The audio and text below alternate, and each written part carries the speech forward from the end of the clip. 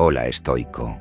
Habiendo transitado ya por varias décadas de vida, puedo afirmar con certeza que una de las lecciones más valiosas que he aprendido es la de no hacer nada que no desee, simplemente para complacer a los demás. Esta lección, aunque puede parecer sencilla, encierra en sí una profundidad y complejidad que solo se perciben con el paso del tiempo y la reflexión constante. Desde que somos niños, se nos inculca la importancia de ser amables, de ser considerados con los demás y de complacer a quienes nos rodean. Sin embargo, en el afán de cumplir con estas expectativas sociales, muchas veces sacrificamos nuestros propios deseos, necesidades y valores nos convertimos en marionetas de las expectativas ajenas, perdiendo de vista nuestra propia esencia y autenticidad.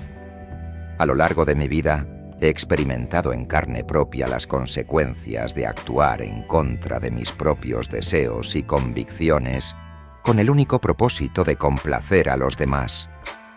He aprendido que ceder ante las exigencias de los demás, aunque aparentemente nos traiga momentos de paz y armonía, a la larga nos llevas a un estado de insatisfacción y desgaste emocional. Es como si nos estuviéramos traicionando a nosotros mismos, renunciando a nuestra propia autonomía y libertad en aras de la aprobación y validación externa. En este mundo tan cargado de expectativas y presiones sociales, es fundamental aprender a decir no, a establecer límites claros y a priorizar nuestros propios deseos y necesidades. No se trata de ser egoísta o insensible hacia los demás, sino de reconocer y respetar nuestra propia valía y dignidad como individuos únicos y auténticos.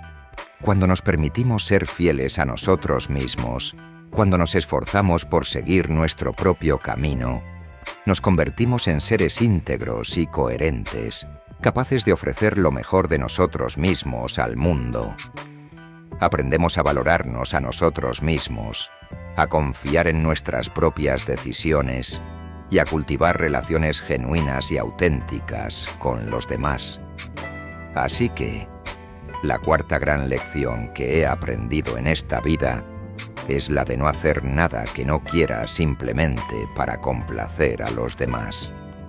Es un recordatorio constante de la importancia de ser fiel a uno mismo de escuchar la voz interior que nos guía y de confiar en nuestras propias elecciones.